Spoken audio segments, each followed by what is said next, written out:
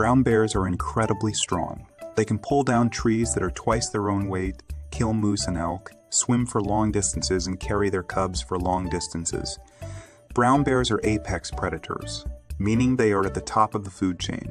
They are not always aggressive, but they can be dangerous if they feel threatened.